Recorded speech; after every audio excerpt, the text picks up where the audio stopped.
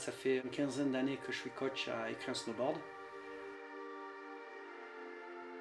Euh, mon fils là il est en, cinquième, ils ont classe sportive, du coup euh, ils font euh, un bon paquet de journées sur la neige. Il y a des entraînements tous les jours où on n'a pas école.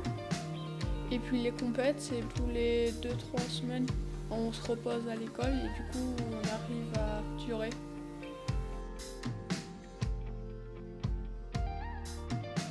Dans certains borders, on a peur et certains, on n'a pas, peur. Y a, parce qu'il y en a certains où il y a des grosses bosses et certains, c'est juste des virages, des hoops. Euh.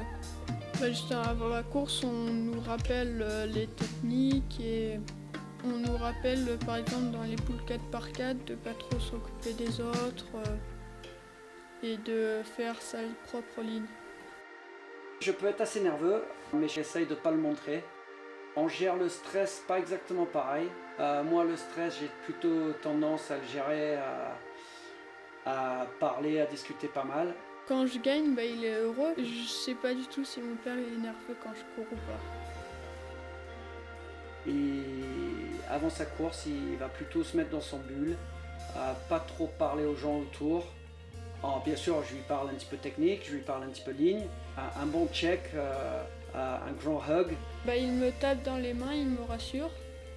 Et puis après, il me dit d'aller le plus vite possible. Et après, c'est parti.